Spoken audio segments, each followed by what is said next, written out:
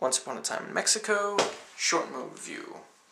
El Mariachi is hired to kill General Marquez, who is to help Barillo, a cartel leader, taking over Mexico, of course, from the president. And there's also Johnny Depp playing a corrupt CIA operative and a million other subplots going on.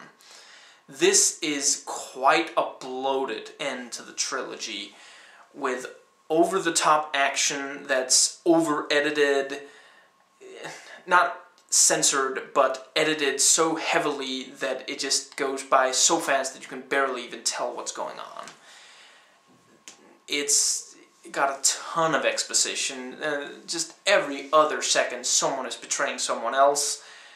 You know, joining this or that other of the several factions involved, and at the end of it, with all these characters, all this, all these twists, you're just wondering why I should care even a little bit. There's far too much going on and far too little time spent developing any character or any subplot for us to really care about it.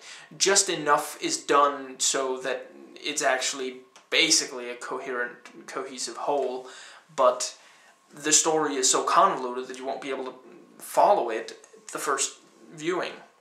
Johnny Depp as the quirky, dirty CIA agent is a lot of fun though, and he actually kind of steals the show from Mariachi. This one has a star-studded cast.